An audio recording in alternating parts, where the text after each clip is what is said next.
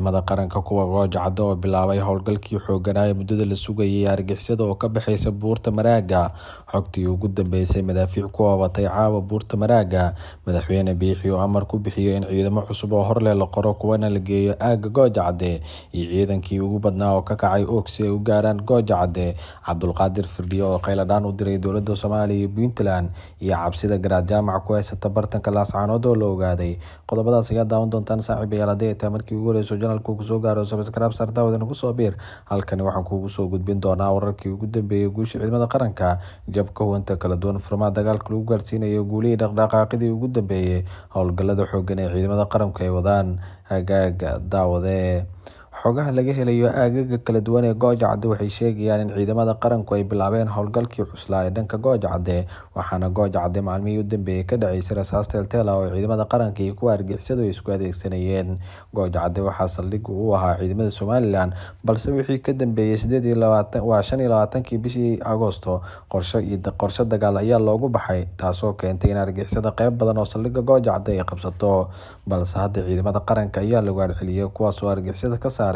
guud ahaan saldhiga gooja cadde si buuxda dhulka maraaga iyo gooja cadde waxaa hadda ku sugan ciidamada qaranka kuwaas oo raxraxan u socda doonayana inay howlgallo xoogan qaadaan. Waa howlgalada ugu culisay somalilan ay xilligan bilaabayso gooja caddena waxay noqonaysaa goobta ugu badan ee howlgalku ka socdo marka laga soo tago aaga ooga saraakiisha kala duwan ee ciidamada qaranku waxay xaqiijiyeen in hadda howlgal culus uu ka socdo aaga maraagan ay ku daadanayso hub xoogan oo ciidamada qaranku ay adeegsanayaan. Sababta hubka xoogan aagaas loogu adeegsanayo waa in dhulka buuro uu yahay oo ciidamada argixisadu ay ka walaacsan yihiin sida buurahaas ay ugu bixi lahaayeen. Qorshahooduna waa in buuro badan ay galaan si ay ugu baaqdaan duqeymaha kala duwan ayagoo damacoodu yahay in ay la socdaan dhaqdhaqaaqa ciidamada argixisada ciidamada somalilan oo sirdoonkooda taageero ka helaya ayaa durbo helay xogta ah in argixisada gooja cadde gurmud uu ka soo gaari doono dhanka laascaanood taasoo keentay in gurmadkaasna laga hortago usaanad ciidan ay noqoto ugu dambeynna ciidamada qaranku ay qabsadaan guud ahaan saadkii dhankii ka yimid dhanka argixisada laascaanoodba ee u socday dhanka gooja cadde wuxuu hadda gacanta u galay ciidamada qaranka ee caawa madaafiicii xoogan ku garaacaya dhanka gooja cadde. Saraakiisha ciidanka qaranku waxay xaqiijiyeen in saldhiga gooja cadde beysas ku dhex yaali oo argixisadu ay lahayd lagu garaacay madaafiicii hub culus taasoo keentay in argixisada firxadkooda goobo badan uu gaaro ha madaafiic xoogan ayaa lagu garaacay goobtii ugu badneed ee argixisada ee gooja cadde. Ciidamada qaranku halkaas hub culus ayay u adeegsadeen ayuu yidhi mid ka mid ah saraakiisha ciidanka qaranka. Ciidamada halkan weerara waa ciidamo ka yimid kuwa jabhadda duufaan waana ciidamo sbeshal ah kuwaas oo la dagaalamaya argixisada waxaana dhaqdhaqaaqii xogta la helaya ay sheegaysaa in intaas aynu ku egeen oo argixisada laga saari doono guud ahaan dhulka ugu dambeyn la qaadi doono howlgal culus oo midkood uu noqon doono in bisha labayo tobanaad markay dhammaato kadib buri biyo loogu kala baxo. Magaalada laascaanood ee xarunta gobolka sool xogtaan helna waxay sheegaysaa in ciidamadii ugu dambeeyey kuwa qaranka la geeyo aaga gooja cadde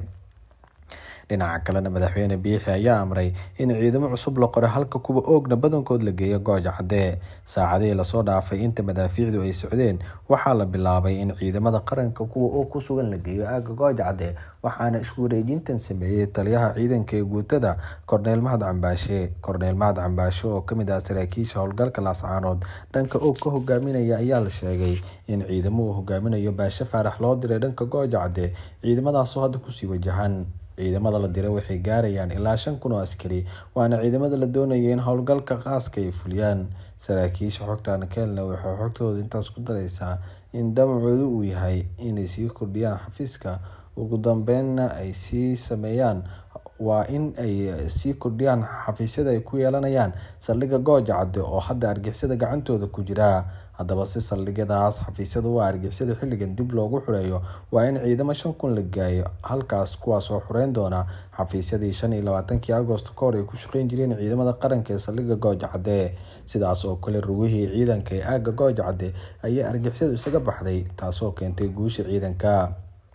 Madaxweyne biixi wuxuu si gaara u amray in ciidamada shanta kun ku dhow sida ugu dhaqsiyaha badan ay u baxaan waxaana inta hubka culus caawa la isku adeegsanayay baxay ciidamadii ugu badnaa kuwaas oo qaaday hubkii dareenka rasaasta culus. Waa arrinta walwalka ku abuurtay argixisada waana midda howlgalka ku keentay in xilligan dhinacyo kala duwan loogu abuuro. Cabdulqaadir firdhiye wuxuu ka walacsan yahay xaalada guud waxaana la sheegay in isagoo xanuunsan oo dhiig ka socdo uu ku sugan yahay magaalada laascanood sababta xanuunkiisa waxaa lagu sheegay walwal xoogan oo uu ka qaaday dagaalada ku fool leh iyo in ciidamadiisu ay xilligan uu ka walacsan yahay inaysan isdifaaci karin. Cabdulqaadir fidhiye ayaa arintaas madax xanuun iyo xanuun ka qaaday waxaana taasi ay keentay in la dhigo cisbitaalka laascanood walow markii dambe laga soo saaray. Xogaha aan helna waxay sheegayaan xitaa dhiig uu ku furmay oo magaalada laascanood uu ku sugan yahay cabdulqaadir fidhiye ayaa ka walacsan in ciidamadiisu taya ahaan ay aada u liitaan waxaana durbo uu bilaabay qeeladhaanta u dirayo dowladda soomaaliya. Dowlada soomaaliya iyo puntland ayuu ka codsaday in ciidamo lagu kabo si howlgal xoogan uu ciidanka qaranka ula dagaalamo dowladda soomaaliya waxay sheegtay inaysan xilligan dooneyn inay argixisadaas garab siiso sida daraadeed la iska rabo in firdhiye uu ismeeleeyo oo xitaa uu sameeyo qorshe ka duwan kuwii hore si uu dambeyn uu u qaado howlgal xoogan dhinaca kalena ciidamada cusub ee loo qorayo qaranka ayaa diyaargarowgood u socdaa madaxweyne biixi waxauu amray in marka furmaha laga bixiyo ciidamo hor leh la geeyo ciidan goobihii ciidankaasu ay ka baxeen qorshahan waa in goob walba oo la qabto la geeyo ciidamo cusub kuwaasoo ugu dambeyn keenaya in ay